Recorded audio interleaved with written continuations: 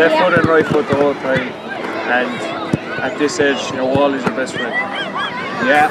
It's great for the kids at, these, at the academy level that we have here with hundreds of kids every Saturday morning coming down to see someone that they can relate to like that. The lads from Galway United coming down are great. Um, you know, and this Galway United obviously have a great success. It just shows the kids that what they can aspire to.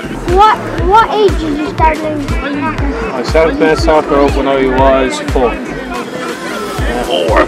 Are these guys still? These guys are seven and eight.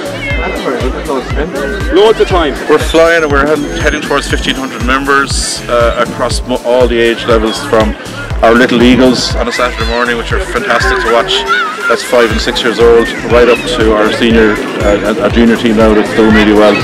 Um, we're hanging on to players better than we did before, I think, because of the, the, the growth has just uh, added to it. Do you know what I mean? Yeah. As the as as our and then we're getting more. We've been a little bit successful as well. We've got some good squads coming through that have been winning some trophies, and that has always helped as well. And just a great catchment area here. You know, we're lucky to be where we are, and that there's a big population around us, and and we're offering a good a good service across all the age groups, and people recognise that. I think. So, so it's been really positive. Yeah, it's been a great year so far. We're very, very lucky here today. So we've got two stars from going out to come down and join us. What you, lads, what do you think of the talent on show? Very good, very good. There's a nutmeg king going around somewhere. Where is he?